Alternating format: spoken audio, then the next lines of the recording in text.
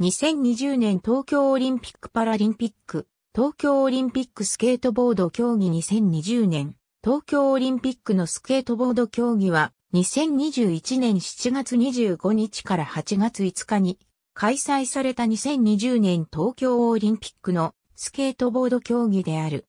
オリンピックでローラースポーツが実施されるのは1992年、バルセロナオリンピックでの公開競技男子、ローラーホッケー以来であり、スケートボードが実施されるのは初めてである。会場は有明アーバンスポーツパーク。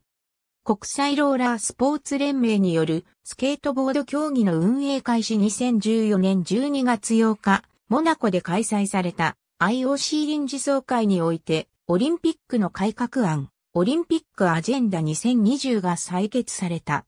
この改革案の中には、開催都市のオリンピック組織委員会が追加種目を提案できることが含まれていた。スケートボード競技の当時の最大勢力の国際競技連盟であった国際スケートボード連盟は IOC にスケートボードのオリンピック競技採用を働きかけていたが SF は IOC 未承認団体でありスポーツアコードにも非加盟であった。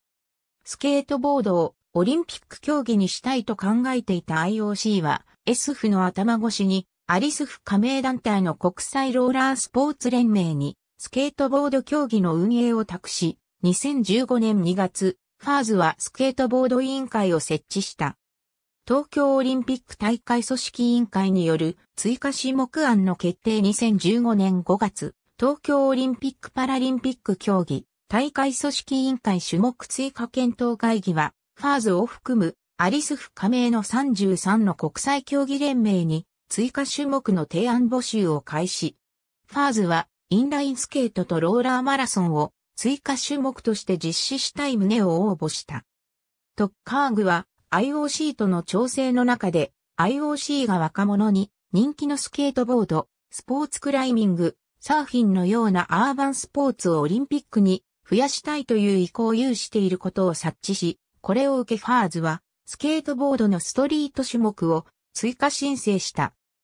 2015年9月28日、トッカーグ種目追加検討会議は、提案種目案を決定したが、ローラースポーツでは当初申請していた、インラインスケートとローラーマラソンが落選した一方、スケートボードは追加申請したストリート種目だけでなく、未申請のパーク種目も採用された。トッカーグ理事会も検討会議案の通り、提案種目を決定し、IOC に追加種目を提案した。ファーズ参加の日本ローラースポーツ連盟会長の平沢和栄は、スケートボードの採用決定に大きな喜びと語ったものの、本命のインラインスケートとローラーマラソンが落選したことに極めて残念と述べ渋い表情を浮かべた。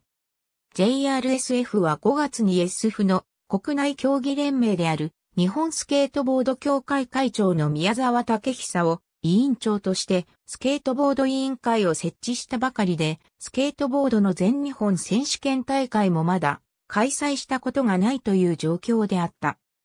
IOC による東京オリンピック追加種目決定及び SF とファーズの統合 SF 会長のゲイリー・リームはオリンピックのスケートボード競技にその歴史や文化を知る、自分たちが関係しないのは良くないと、IOC やファーズと盛んに接触するようになる。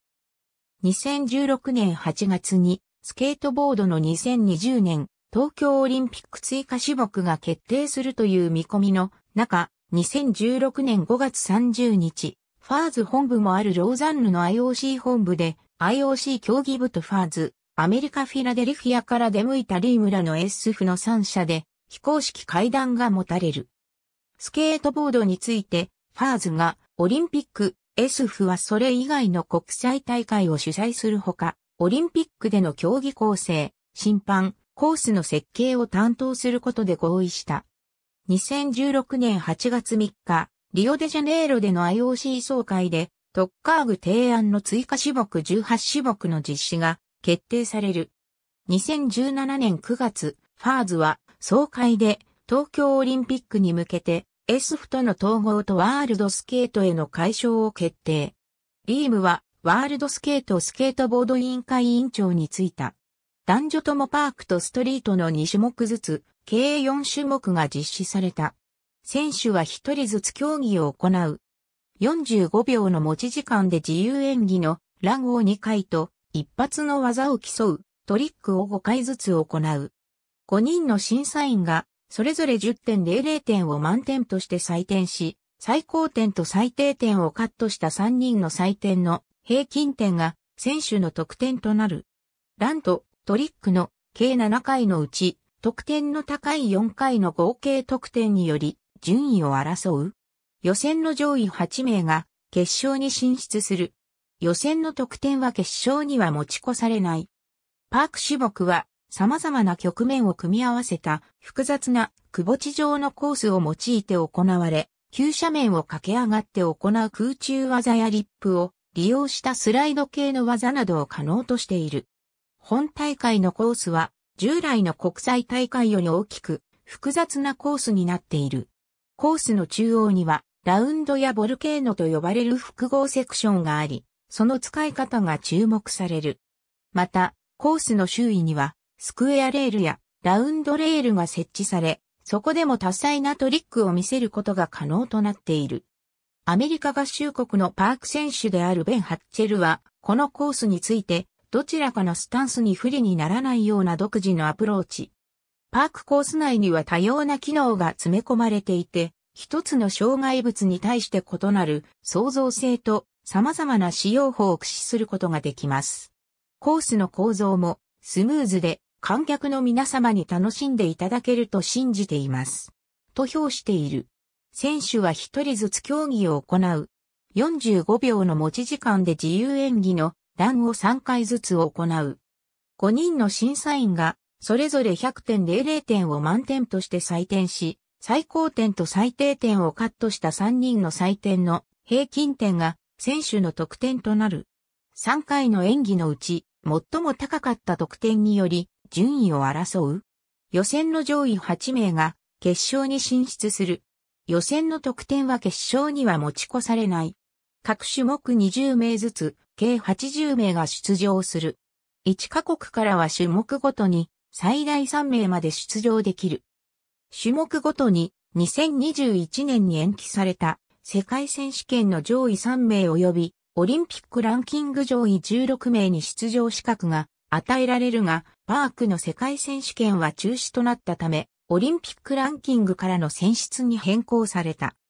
その他に開催国枠として、日本にはオリンピックランキング最上位者を対象に各種目1名ずつ計4名の出場資格が与えられていたが、男子パークを除く3種目では開催国枠によることなく、世界選手権の成績やオリンピックランキングにより3名ずつ計9名が出場資格を得た。女子パークでは日本選手最年少となる会心らが出場権を獲得した。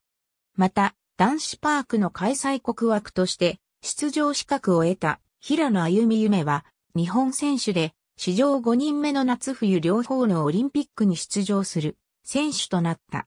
ありがとうございます。